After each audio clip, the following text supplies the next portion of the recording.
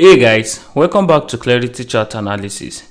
And in this video, I'll be using the market structure to tell us our current position of the Mana token on the price market chart and also using market structure to predict the next possible move of the Mana token.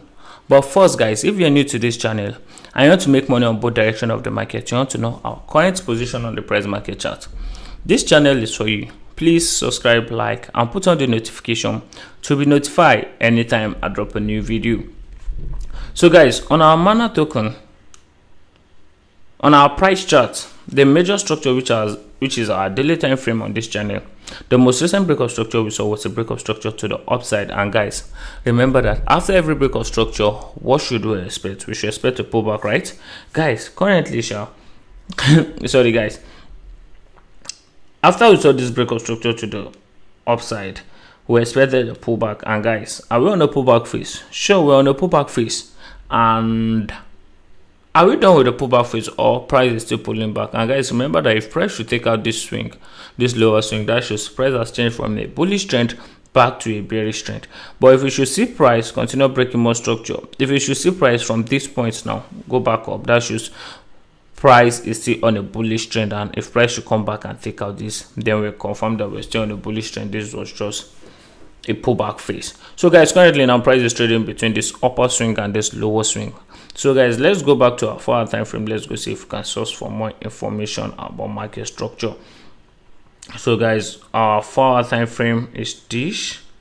Um the most recent breakup structure we saw was actually a breakup structure to the upside on our daily time frame. So let's do this together. This swing was actually what gave us this higher high so guys from this point we saw price pull back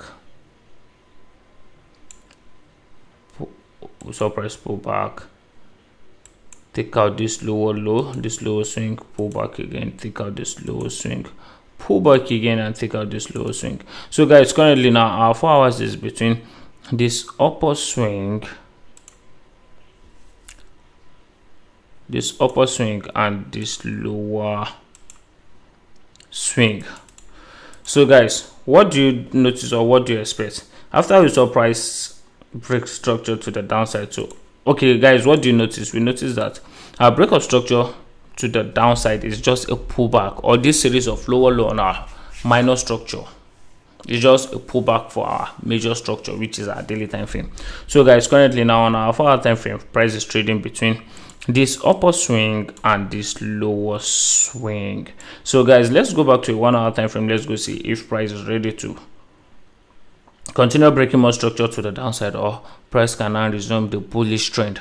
Because guys the fact remains that the higher time frame is actually superior to the lower time frame. But guys for price to break structure or for price to change direction we should be able to see the traces on our lower time frame. So guys on our one hour time frame now what do we notice guys? We notice that after we saw this break of structure on our four hour time frame we saw that this swing that actually gave us this lower low same price traded above it price pullback broke more structure again to the downside. So guys currently now on our daily time frame uh, on our sorry sorry guys on our one hour time frame to the most recent breakup structure to we saw was a breakup structure to the upside? Just a pullback to our four hour time frame.